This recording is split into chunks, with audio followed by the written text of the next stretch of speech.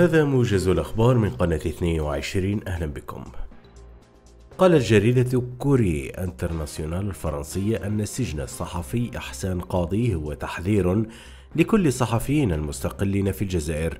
وقالت الصحيفة أن منظمة العفو الدولية تعتقد أن الاتهامات التي أدين بها إحسان قاضي لا أساس لها من الصحة. إحسان قاضي أدين الأسبوع الماضي بسبع سنوات سجن.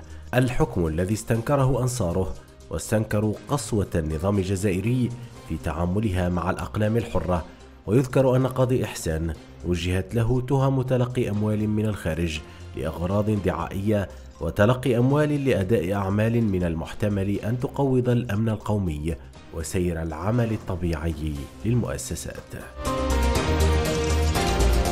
توفي ليلة أمس رشيد العرابي ابن بالكور والذي ينحدر من منطقة طولجا ببسكرة أحد سجناء التسعينيات بسجن باتنا بعدما قضى ما يقرب الثلاثين سنة داخل السجن. رشيد العرابي سجن بتهم وهي من قبل المحاكم الخاصة التي أنشأها النظام الجزائري زمن الانقلاب العسكري في تسعينيات القرن الماضي. إنا لله وإنا إليه راجعون. أعرب أكثر من 50% من البريطانيين عن اعتقادهم بأن المملكة المتحدة كانت مخطئة في الخروج من الاتحاد الأوروبي وفقا لاستطلاع رأي جديد واستنادا إلى استطلاع شمل 1552 يعتقد ما يقرب 80% أن المملكة المتحدة يجب أن تكون لها علاقات أوثق مع الاتحاد الأوروبي في المستقبل.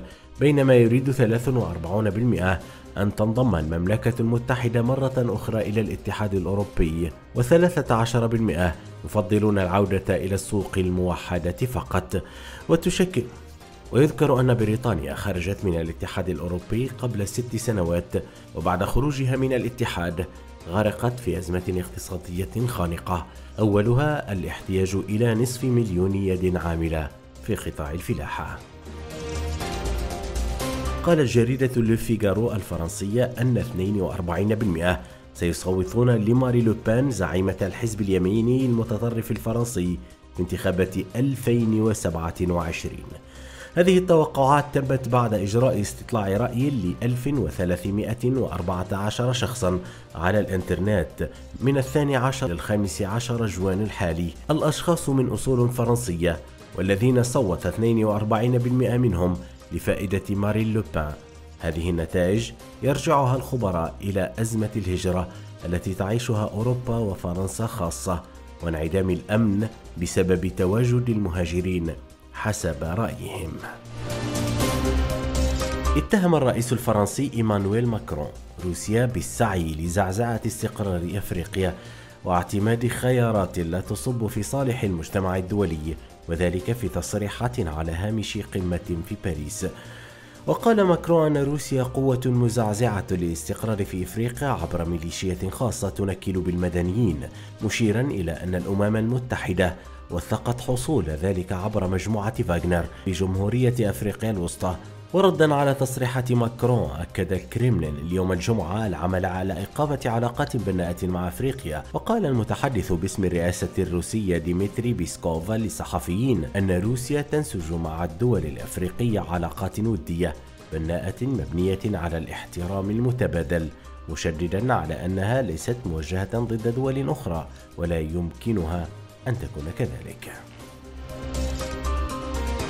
عثر خفر السواحل الأمريكي أمس الخميس على حطام غواصة كانت تقل خمسة أشخاص في رحلة إلى السفينة تايتانيك التي غرقت قبل أكثر من مئة عام معلنا أن دمارها سببه انفجار داخلي كارثي أودى بحياة جميع من كانوا على متنها. لتنتهي بذلك عملية بحث متعددة الجنسيات استمرت خمسة أيام. وانطلقت الغواصة تيتان في رحلة مدتها ساعتان قبل صباح الأحد لكنها فقدت الاتصال مع سفينة الدعم بعد مضي حوالي ساعة وخمس وأربعين دقيقة. وأعلن مسؤولون في خفر السواحل العثور على خمسة أجزاء كبيرة من حطام الغواصة تيتان التي يبلغ طولها 6.7 أمتار. ولم يرد ذكر لما إذ كانت هناك رفات بشرية قد شوهدت في الموقع. نهاية هذا الموجز شكرا لكم على حسن الإصغاء والمتابعة.